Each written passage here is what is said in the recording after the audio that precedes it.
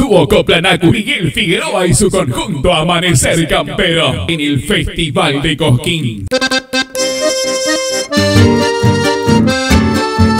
Sábado primero de febrero, Miguel Figueroa y su conjunto Amanecer Campero. Estuvo Coplanacu. Para que la rama negra como quisiera encontrarme con mis paisanos, grandes amigos de aquel. Sábado primero de febrero, una y media por la televisión pública.